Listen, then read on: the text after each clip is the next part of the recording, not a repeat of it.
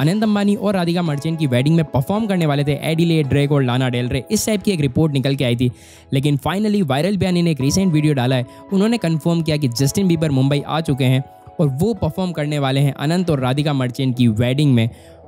तो अगर Justin Bieber आ चुके हैं तो किसी और आर्टिस्ट की क्या ही ज़रूरत है? जस्टिन बीबर आज पहुँचे हैं मुंबई के प्राइवेट एयरपोर्ट पर और अनंत अंबानी और राधिका मर्चेंट की शादी में वो परफॉर्म करेंगे।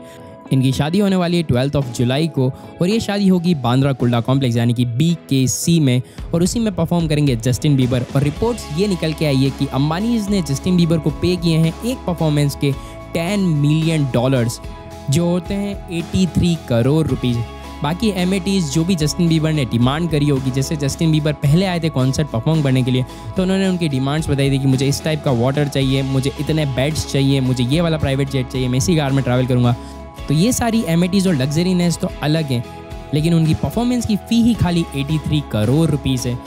और इसीलिए शायद से जस्टिन बीबर को रिसीव करने के लिए अम्बानी की सबसे महँगी car Mercedes Maybach S six eighty guard गई थी प्राइवेट एयरपोर्ट पर उनको रिसीव करने के लिए।